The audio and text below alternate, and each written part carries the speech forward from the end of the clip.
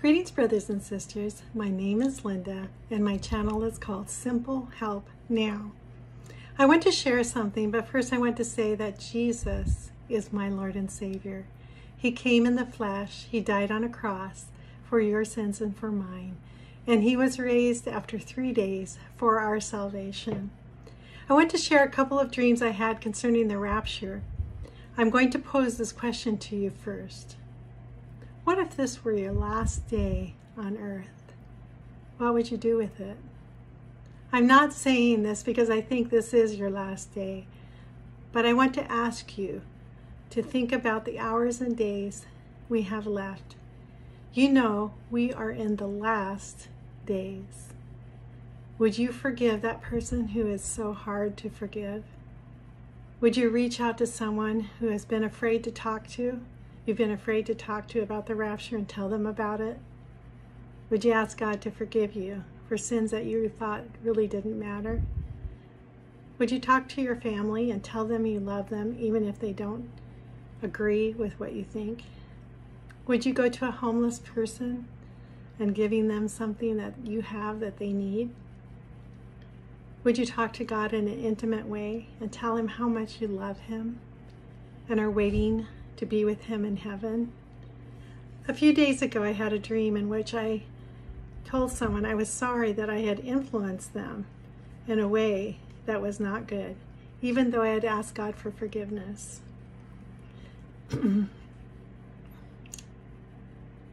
However, this small influence of mine obviously mattered I wasn't specific to a certain sin, but an action I had chosen. I asked God to forgive it. I also thought about the words I had spoken and how I had words out there in the atmosphere that may have hurt someone. I pulled them in in prayer and asked God to put them under the blood of Jesus to have those words forgiven. How about asking for forgiveness for our words while we wait for the rapture? After I asked for forgiveness in the dream, I heard many people shouting together in this dream, almost like before a sporting event. They were shouting, Rapture, Rapture, Rapture, and then I woke up. It was like right before a team comes on the field or before a major concert. There was an electricity in the air and a continuous call for the rapture. In my second dream, a few days before the first one, I was in bed and suddenly I felt a huge pull and I felt myself lifting up. Every part of my body felt like I was being pulled up and I was aware of it. I knew I was being raptured. I was pulled rapidly toward the ceiling of my room and then I was back in bed. It felt amazing. At first I wondered why I was back, but realized I was dreaming and it wasn't the actual rapture, but a prelude to it. Friends, these things are about to happen. What will you do with these final days, moments and minutes you have left? I'm not saying the rapture is going to be today or tomorrow or next week, but the birth pangs are here and nothing will stop the baby from being born. The baby will come and we will be lifted immediately, like my dream, to your home and my home. Someone mentioned once that time is more valuable than money, and because it can't be replaced, we can spend our gold coins of time any way we choose, but the wealth of our time on earth is slipping away, being spent moment by moment, never to return. We all have the same struggles with distractions and meaningless hours that take our time.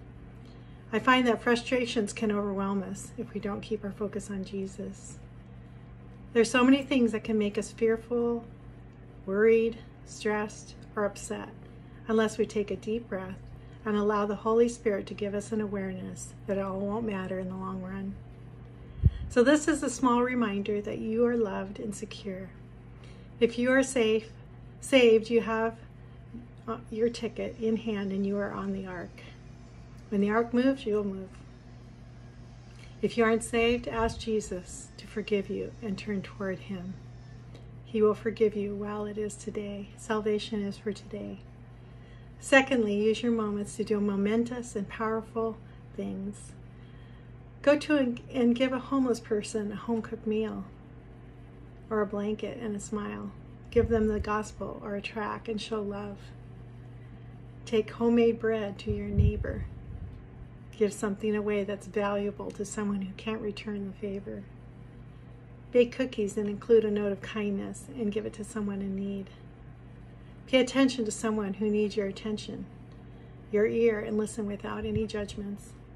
Share Jesus. This is most important. Love Jesus with all of your being. These are some ideas to spend your time coins wisely. Looking forward to meeting you in heaven. God bless. This is Linda from Simple Help Now.